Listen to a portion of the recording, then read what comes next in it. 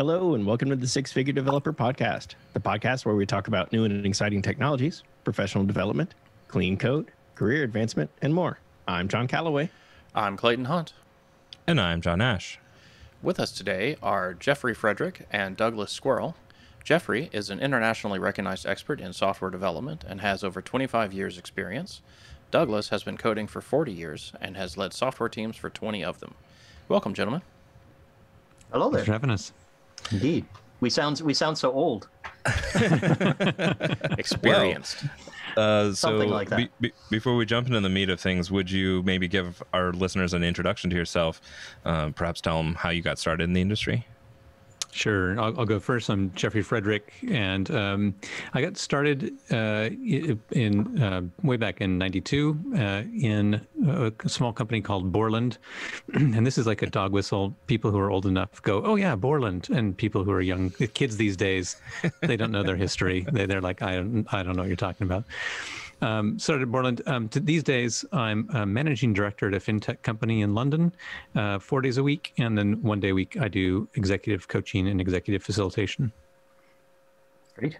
And uh, my name is Squirrel. Uh, so you can either call me Douglas or Squirrel, but uh, I, uh, like somebody else on this podcast, I, I go by my surname usually.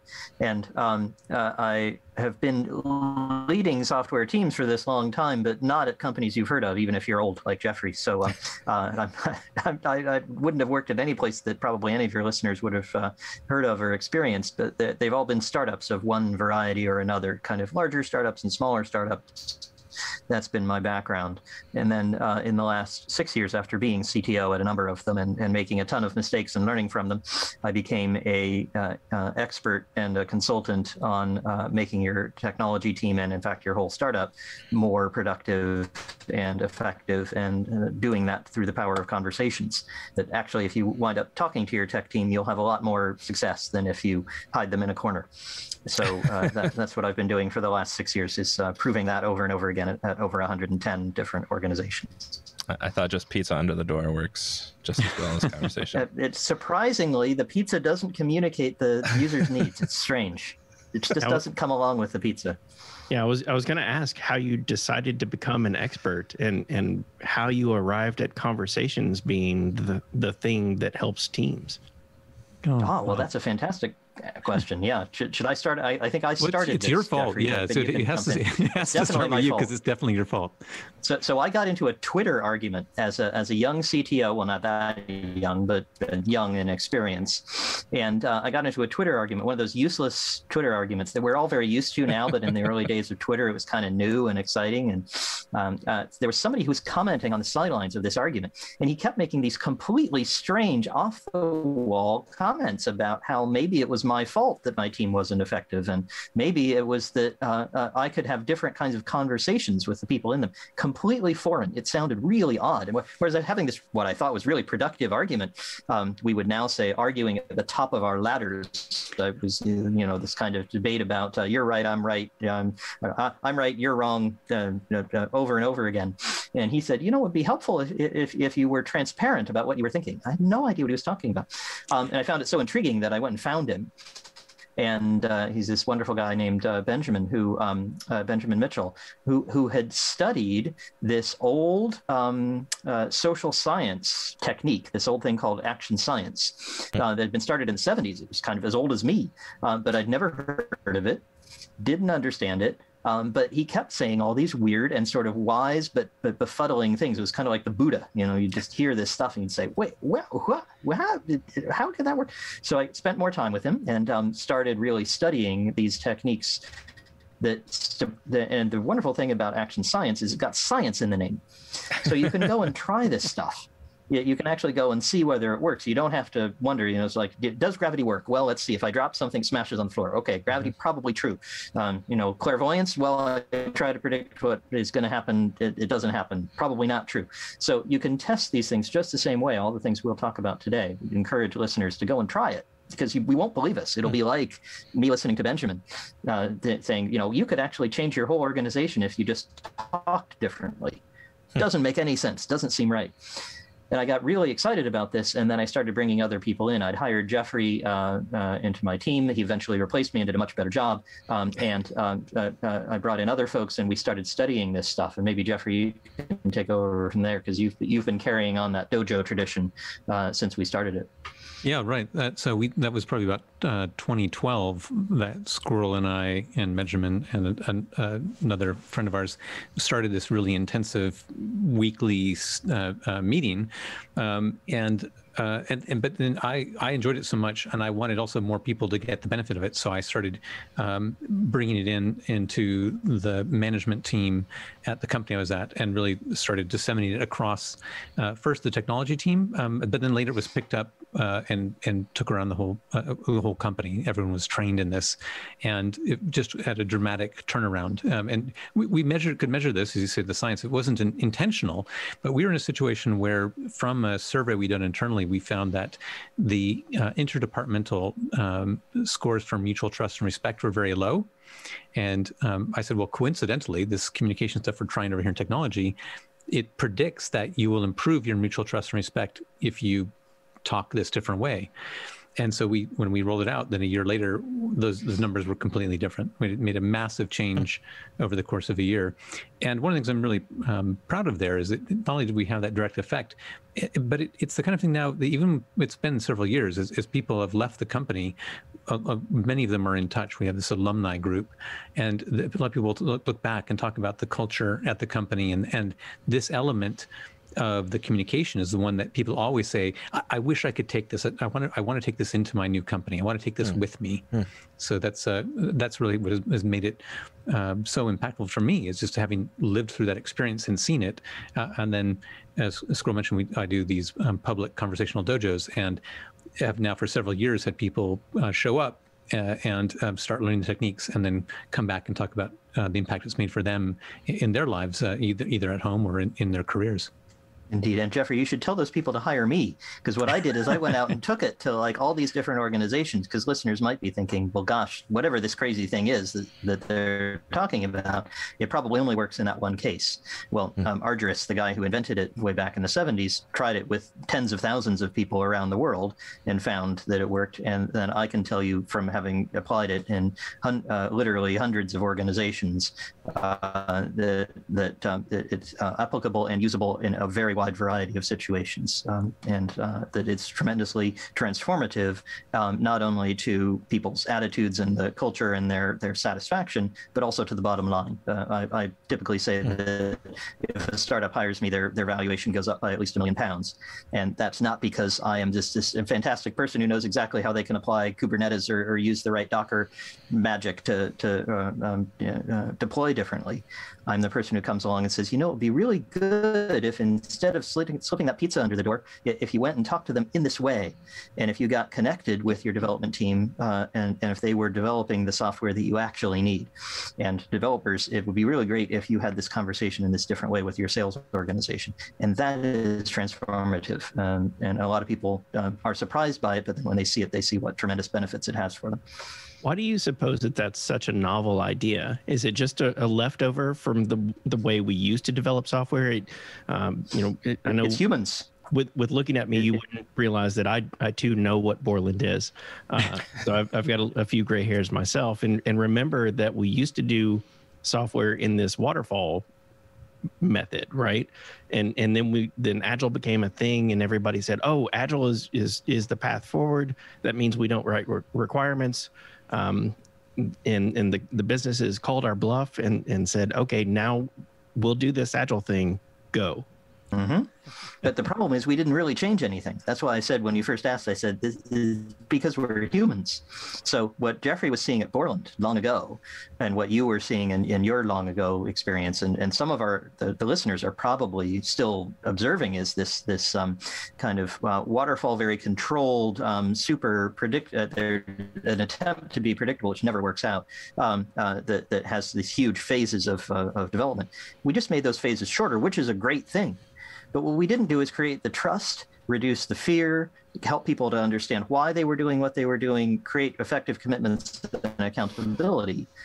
and we didn't know how to do that. It's not natural to humans to do that. It's much more natural for humans when they're under conditions of threat or embarrassment to act in a way that's defensive. Mm-hmm. And a way to be ineffective, but but skillfully, is to uh, have this um, uh, approach, which you see both in the kind of Borland waterfall way and in the modern agile way of um, not really trusting your development team, not really uh, reducing your fear of your sales organization and what they might sell uh, that, that you can't deliver, and not take action on that, but to put a process in place instead. Yeah. And that's what I see over and over again. I have to undo at uh, uh, organization after organization. It's a great business model for me, um, but I'm trying as hard as I can to put myself out of business. Yeah, I think that's one of the uh, the big issues with Agile as it's presented. You know, if you, if you look back to the original concept, it was about communication, but businesses turned it into a process, and it, it doesn't really work as a as a process.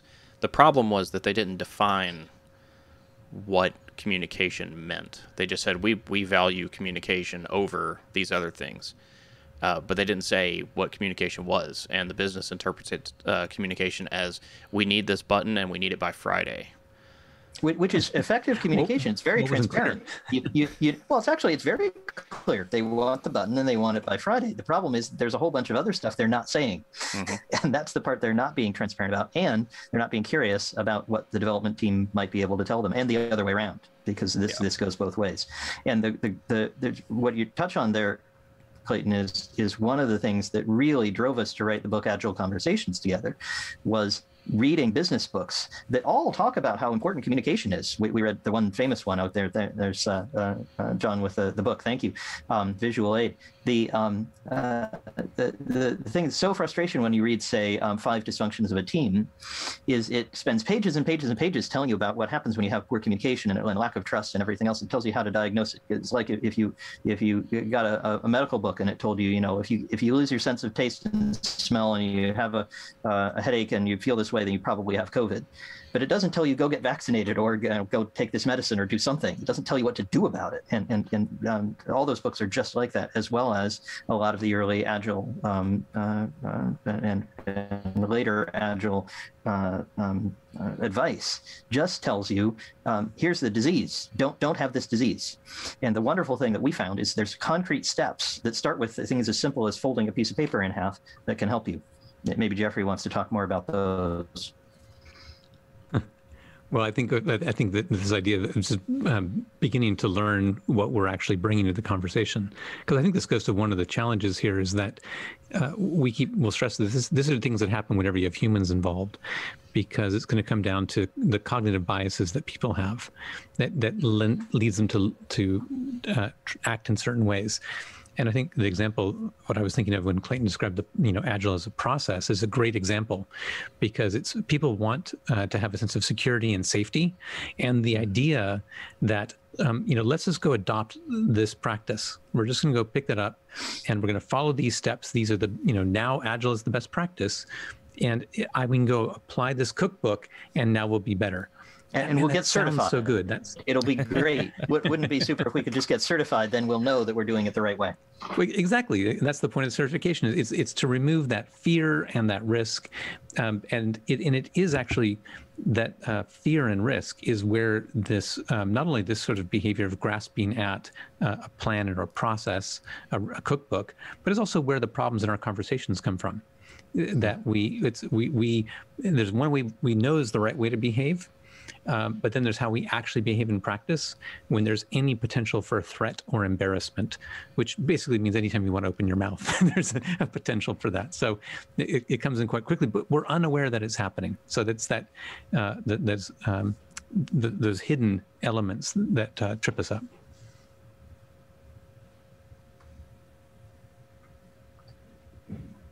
So, so how do we get there to ensure that we have safety and security, and and how do we get the trust that where we can have those conversations, where it's not just I'm going to have a conversation with you where I tell you th- something and you do it.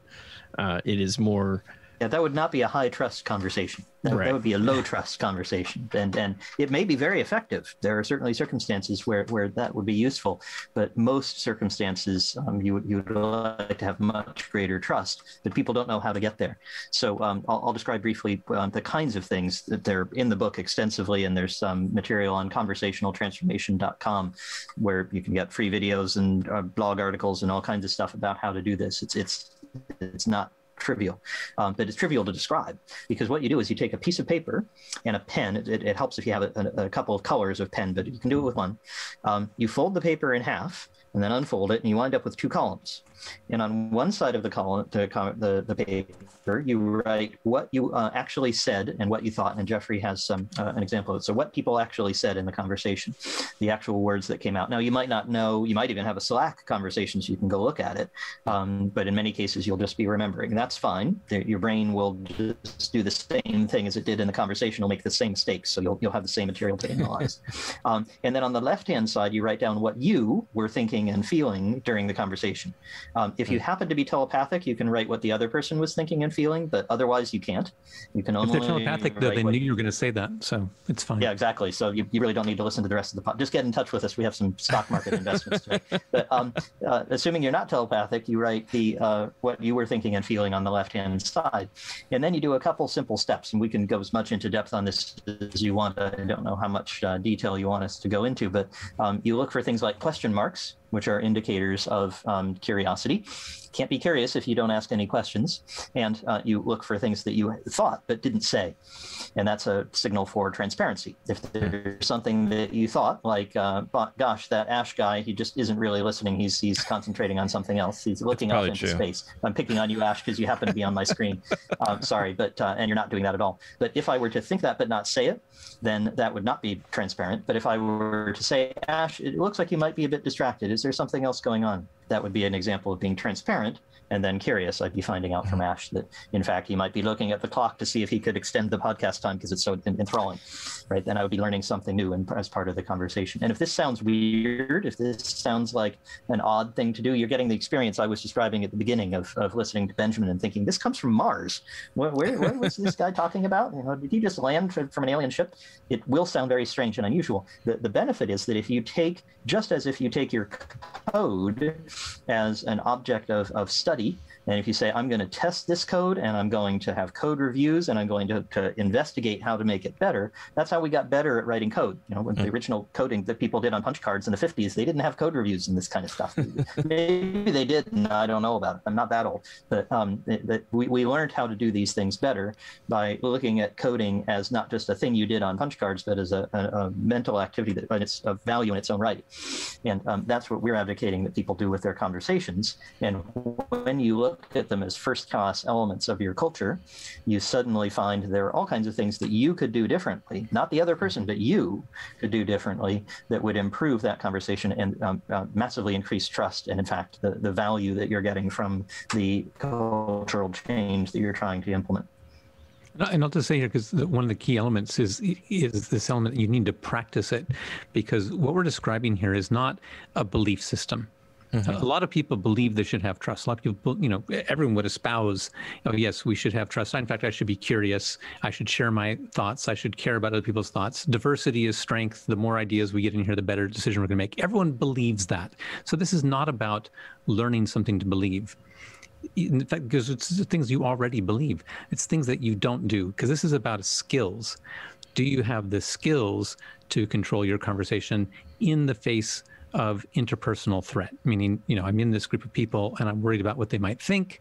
Um, you know, I don't want to upset. Uh, uh, I'm going to go with, with with John. Why not? You know, I'm gonna, I don't want to upset John uh, by by bringing this up. Uh, you know, he seems really attached to his idea. I think he's missing something, but I, you know, I, I don't want to cause a fight. And you know, it's almost lunchtime, so we let these things go and uh, it's it's this gap between what we believe and what we do is where the problems come and i think this becomes a big obstacle to people actually practicing the skills.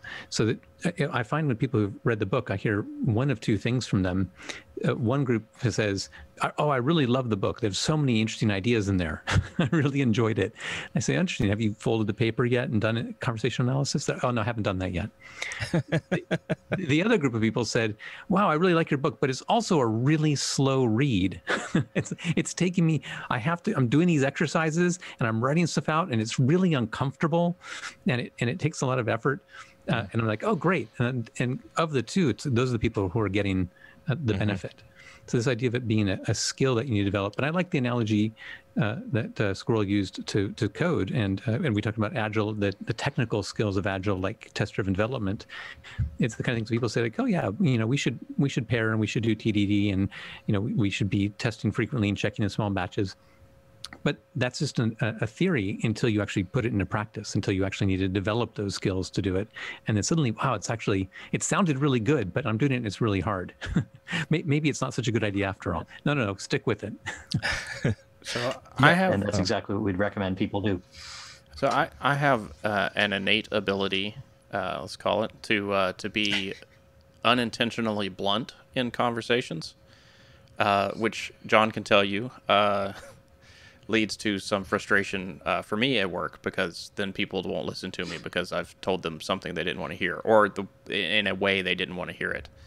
Um, is is fixing that a matter of practice? Are there are there tips uh, maybe in, in the book that would that would help with that? Yeah, absolutely. absolutely. So yeah, Can, I would say you want to take that, Jeffrey? Yeah, so let's start with with um, this idea of recording your conversations. And then each chapter in the book has particular tools. And the one that comes immediately to mind for me is uh, in chapter three, the trust conversation. And we bring in uh, a, a, tool to help use in your conversation analysis of which is called the ladder of inference.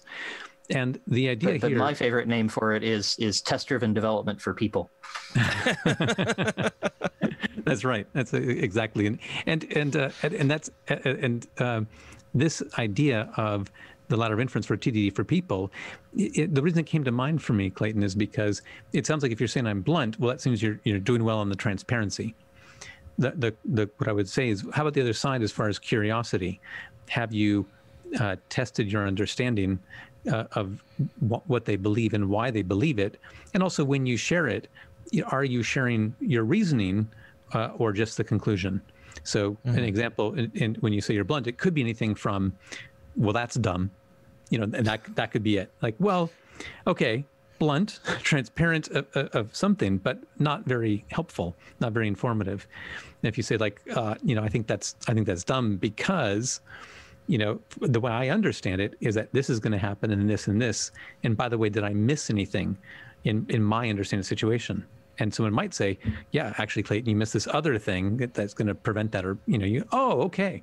So because the goal we're after here something that's you, even dumber that, that you shouldn't be doing, and, and, you would discover that you could be blunt about that and be more effective. That's right, exactly. Because the the goal that we're after, and we would say in these conversations, we would describe as mutual learning conversations, uh, which is it's not necessarily that we're going to agree in a mm-hmm. conversation. Mm-hmm. It's not reasonable that any two people, let alone five people like we have here, that if we put out, uh, you know, shared facts, if all of us shared what we knew, all of us shared our own views, and we then said, right now, given all the facts and, and beliefs, what do you think is the right thing to do?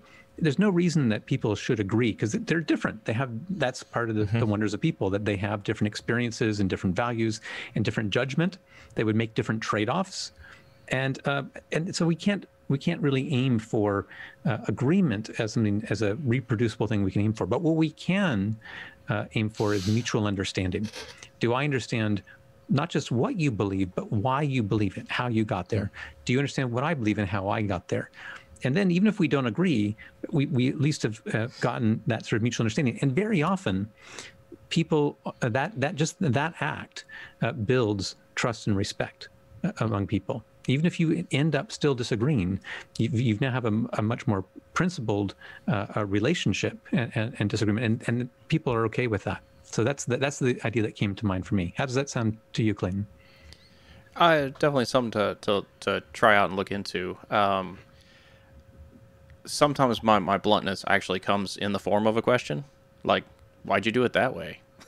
Well, that would be a great example of given the because that I happen to be able to see you. Some listeners may not be able to see you. I, I, I saw you kind of roll your eyes and look askance, and um, I'm, I'm, guessing I don't know this because I'm not telepathic. Um, I'm guessing that that might not be a genuine question, and a genuine question is one that would uh, that could result in you changing your mind.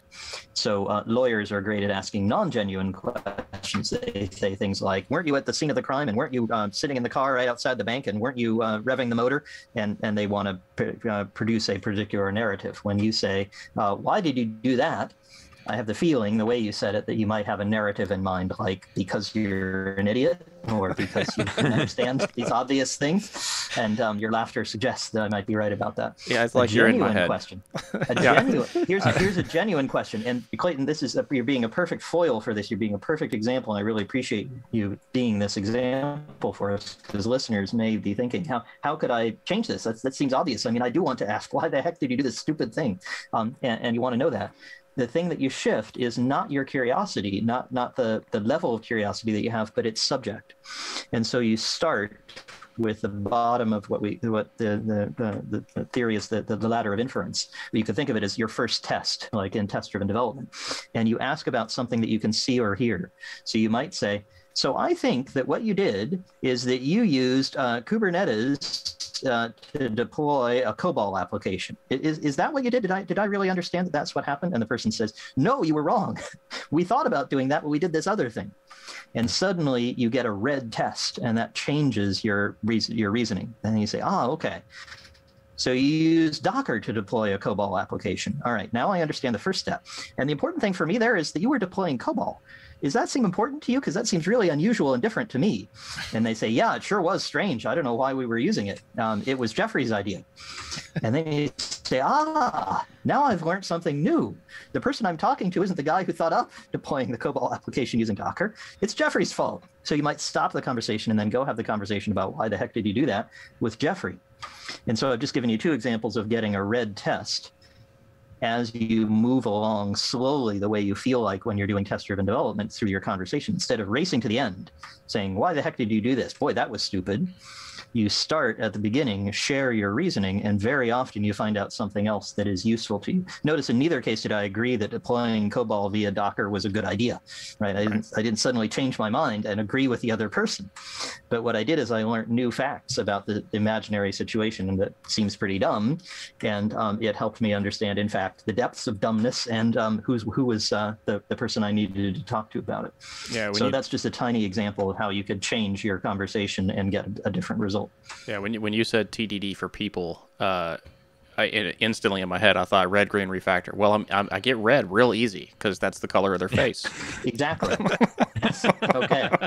But what you could do is you could get red in terms uh, of what I was doing, where you right. could learn new things. Yeah, in terms terms of my understanding. Mindset shift yeah. for you. Exactly. And then you could change it and you could actually get green. In fact, the other person might say, yeah, boy, you know, we all told Jeffrey that was a stupid idea, but he didn't listen to us. And then you build trust with that person because you have a shared story. And you can say, boy, well, let's both be curious and let's go find out from Jeffrey why he wanted us to do that. He might learn some really good reason for it. That's the sort of shift that happens. But it, you can see how much hard work it would be for Clayton Clayton would need to change what he's doing. In no case did we change what other people were doing. We didn't change Jeffrey. We didn't change the person Clayton's talking to. We changed Clayton, and he got different results. I will. I will definitely be adding test-driven discussion to the list of things to explore. Excellent. Chapter three. You'll enjoy it. There are videos on our website. Yeah, yep. I really appreciate how the chapters are laid out in the book. It seems they're you're building uh, narrative, you're building more discussion, you're building uh, new and different skills, starting with improving conversations, uh, trust, fear, why, uh, getting up to commitment and accountability. Those those two words in particular seem like they could potentially be trigger words for for people because it, it it's you know I don't I don't want to make a commitment. I, I don't want to be accountable if if something goes awry. Well, there's a reason it's in that order because the, often those are trigger words and dangerous words if you don't have trust, if you ha- have not reduced fear, and if you don't understand why you're making the commitment in the first place. So once you've um, laid those foundations, then actually those are those are your friends because um, you you understand what you're trying to accomplish. You've aligned with the other person. You no longer think that um, deploying COBOL using Docker is a dumb idea because you've understood the reason. There is some really good reason in this very strange special case why it's a good idea, and now you're ready to think about committing to improving that and maybe moving to a, a, a much more modern stack. And the other person is ready also. So once you have the uh, the foundations, things get uh, much easier. But absolutely, I wouldn't start there. That's why we said start with the trust, start with uh, those elements. But we give um, the same kinds of concrete techniques involving folding pieces of paper and um, uh, doing s- slow tests and so on. The same kinds of methods apply to commitment and accountability once you have the foundations in place. And one of the things is, is it also it's it's bilateral, and, and even just thinking about this, I know my interpretation of the word accountability changed when I heard Kent Beck speaking at I think it was Java One in something like 2004 2005, and he was giving a, a, a, a talk about his own career and he brought up the word accountability and how it had changed. And it's not that he's he, and he changed my view of it because it's not about you know holding someone to account and or the fear that someone's going to mm-hmm. hold me to account. Oh who can we hold accountable for this success? You know not something you hear very often. It's usually you know this went wrong who do we hold accountable? But he he said no no it's it, the properly envisioned it's like if i'm accountable it means i'm obligated to render account. I should i should feel compelled like professionally as mm-hmm. uh, to be responsible for what I've done and, and share my my thoughts and, and what I did and, and why I did it. And that really changed my view. And as a result, when I when I was at uh, TIM and we adopted sort of a, a, skills model of things we wanted to uh, uh, rate people on as strength areas for people to develop, we had a pairing, uh, and one was judgment and accountability. So it's both your ability to have good judgment and also to account for that judgment. And in part of that, and this is the bilateral part, is the person that you're accounting to probably has some responsibility for what they're uh, uh, telling you. You know, so if someone uh, says, you know, Jeff, can you do this? I, I, need to know some more information, not just what they want done, but I need to know things like the constraints involved. We lay out this this in, in the accountability chapter. If we talk about the, the value of a briefing and back briefing. Hmm. So the person who's who wants accountability from me is obligated to uh, render a briefing to me that gives me the information I need such that I can uh, actually be accountable uh, in a responsible fashion. So it's a it's a partnership, and and that idea is, it was was really um, powerful and helpful for me in in both directions, both as someone uh, asking for an account and also someone who's rendering an account.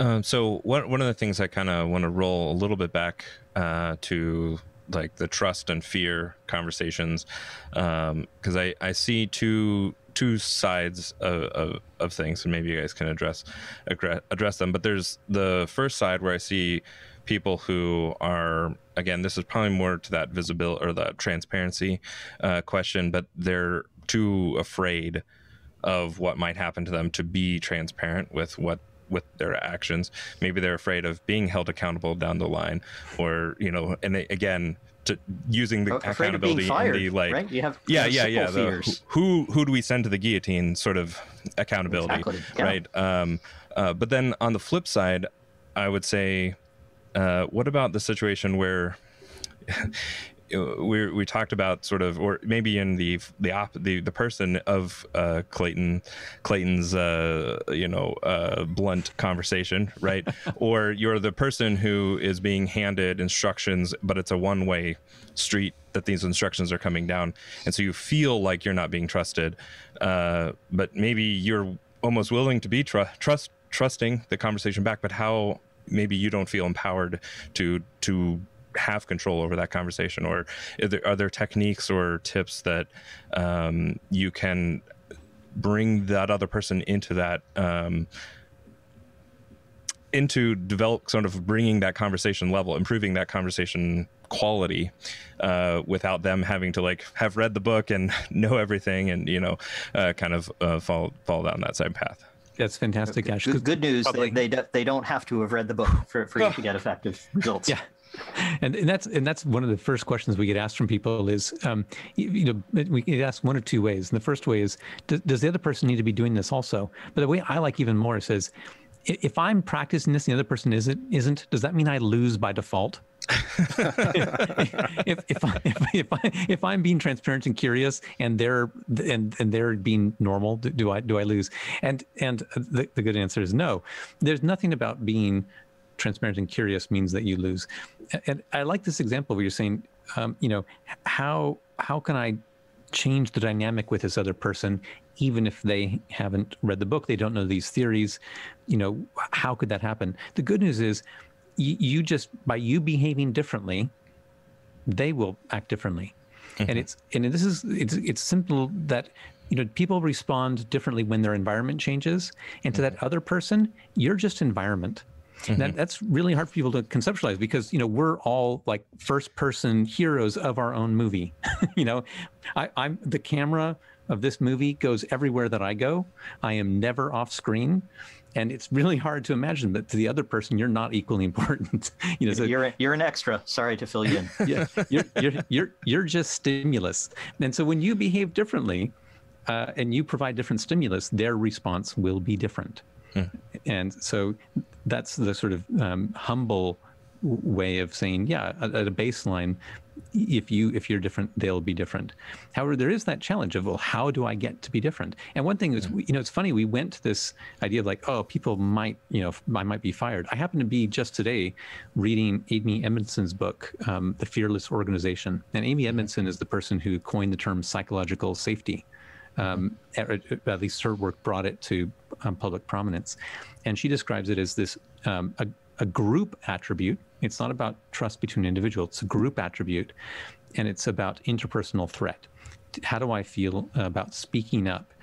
And in it's it's an, not a long term thing. It's the immediate. Like right now, how will I be judged uh, by the person in the moment? If I if I say this will I be seen as I'm if I'm uh, as I'm stalling. You know, if they're demanding and I ask for clarification, will they look at me as an obstacle? Mm-hmm. Might they lose trust? And it's these it's these small micro decisions that we make all the time. And and typically, humans have a strong bias towards being safe mm-hmm. r- rather than effective. It, you know, it's um, we are social primates as social primates, uh, our status is the number one determinant of reproductive success. And so anything that would cause us to lose status uh, through embarrassment is is worse than death. Mm-hmm.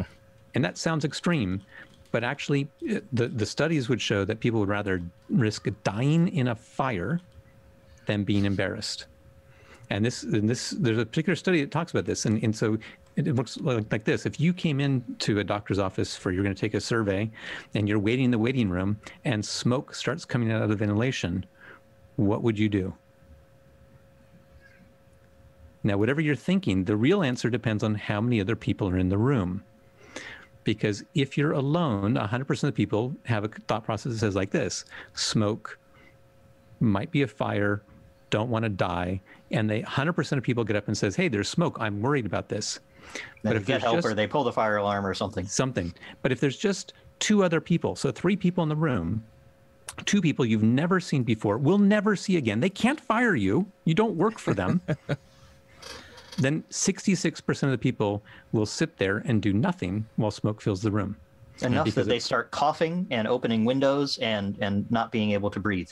And and and, and it's because apparently the thought process is smoke could be a fire, don't want to die, but if I'm wrong, I might be embarrassed. I guess I'll sit here.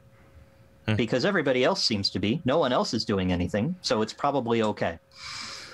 And uh, and there's so much caught up in this one experiment that relates to our communication, which is, for example, that we, you know, about how we perceive risk and how poorly we perceive risk in the moment and and and how little we pause to reflect on what the real what's really at risk and and also including our ability to read other people and the mm. belief that they can read us because when we when you ask people who are in this experiment and you say well what was going on in your mind they're like i was terrified but i looked around and the other people were calm they thought everything was fine but these are they're saying about each other they're like no so they had the illusion that they could read the other person accurately which was mm-hmm. wrong mm-hmm. and the other person mm-hmm. could read them accurately which was wrong and and all of this goes into our communications. So it's no surprise for, for us, when we go in and we talk with teams who uh, feel like they'd like to have better performance, that the number one cause of why they have communication problems is not unproductive conflict. It's not that they're arguing all the time. And that, that's happened some places, but it's much more rare.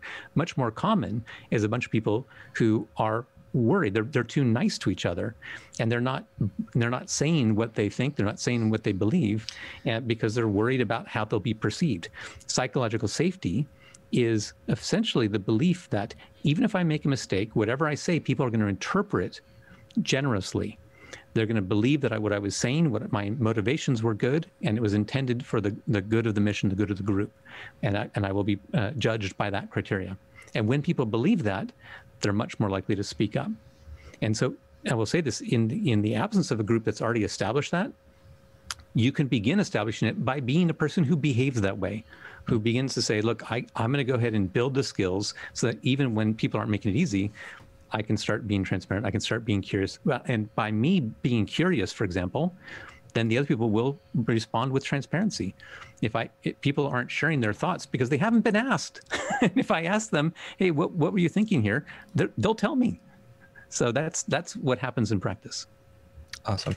What uh, resources might you direct our listeners to to who who might be looking to sort of improve their conversation skills?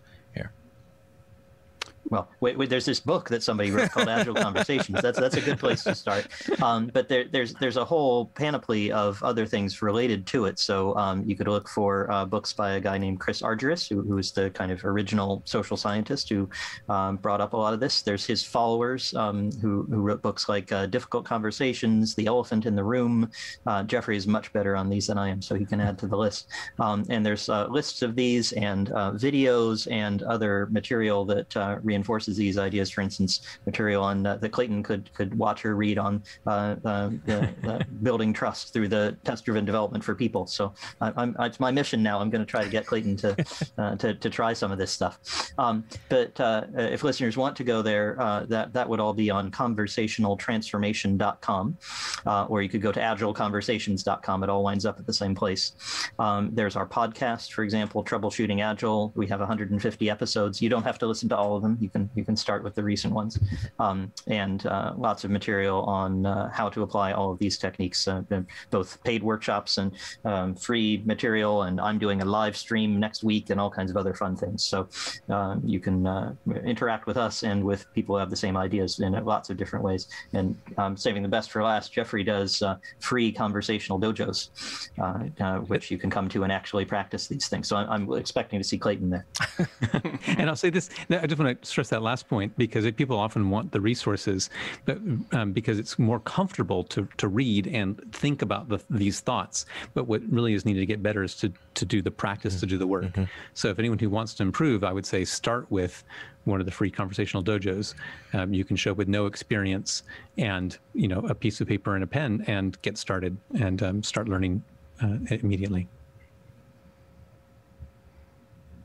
All right. Uh, sorry, uh, our stream has been skipping, and so I've been try, trying to figure out how to prioritize my computer and the router. Um, uh, what has been helpful in your careers uh, that you might share with those just getting started or those looking to level up their own career? I'd say for me, it's been very clear that, that has been a, a focus on trying to be better, and uh, that may may seem uh, straightforward. But what, what that means is um, trying not necessarily uh, uh, not optimizing for comfort, not mm. not to continue doing what I have done in the past, and instead to be saying, you know, is there a better way to do this? And that's been, been true throughout my whole career. Whether it's uh, um, better tools, uh, better techniques. better process, you know, wherever I always say, wherever we are now at this moment, start with our current condition, and then say, you know, what's what are our current obstacles, and how can we start improving you know right now. And and that the idea of little marginal improvements um, add up over time.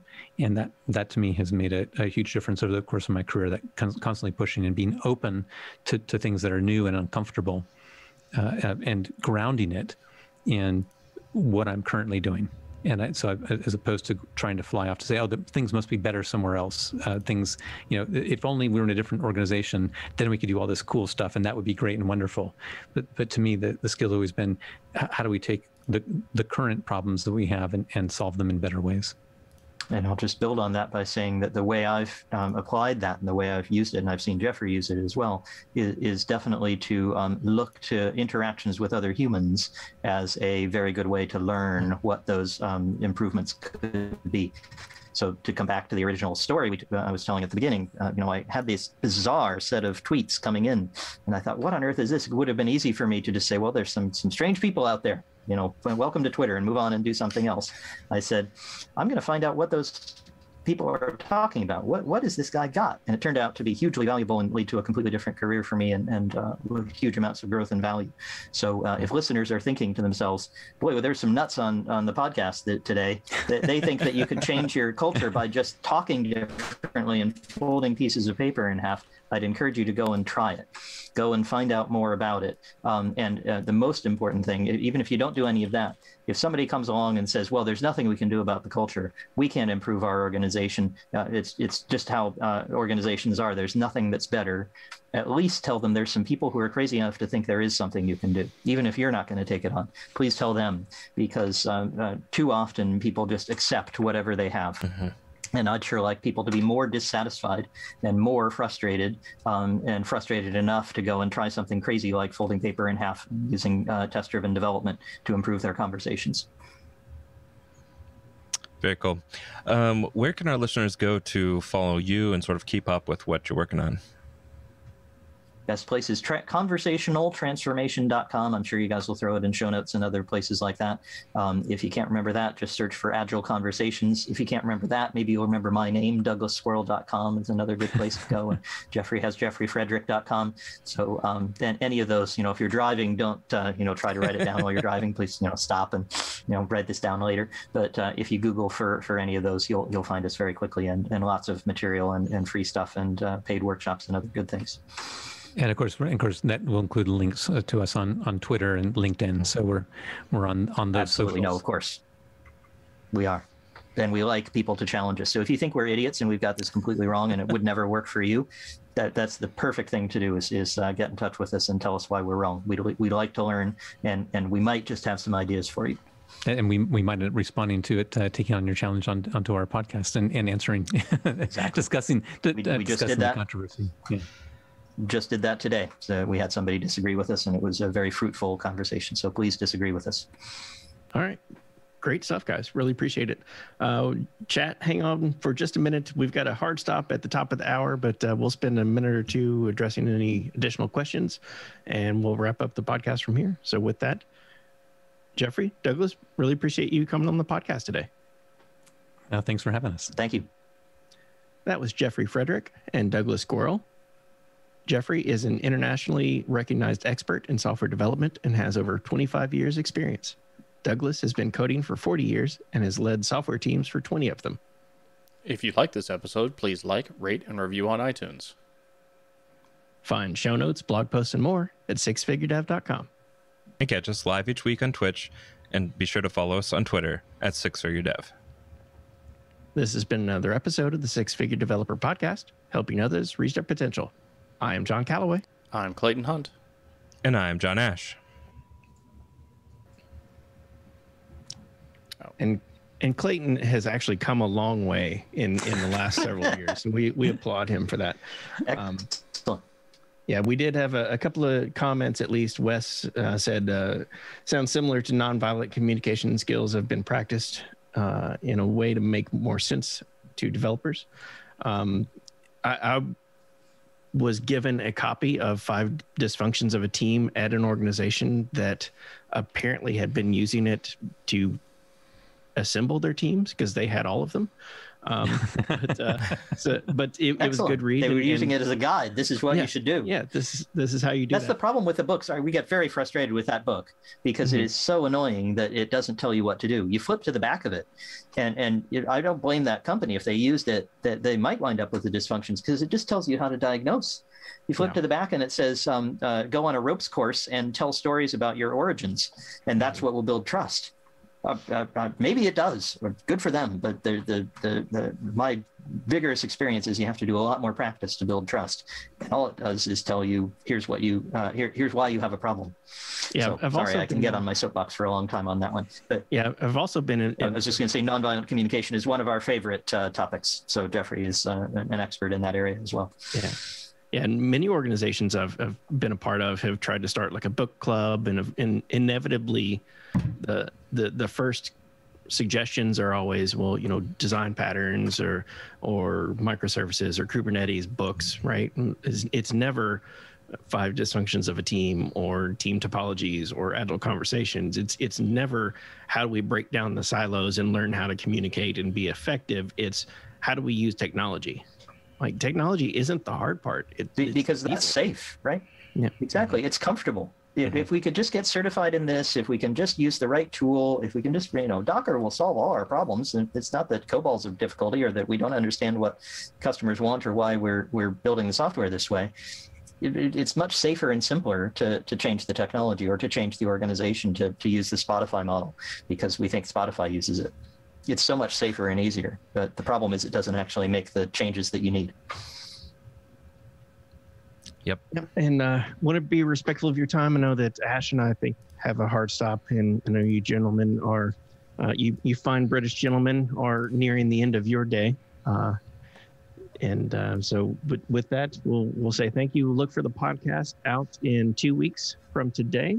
We'll get the audio all cleaned up. We'll hopefully address any of our video concerns on Twitch and, and get that fixed and and backed up to YouTube appropriately. Uh, otherwise, look for us back this evening, 8 p.m. Eastern for live coding, and then next Monday afternoon, 6 p.m. Eastern for live broadcast of the podcast. And with that, we will raid our friend Lana Lux and see what she's working on and say thank you guys. Really appreciate it.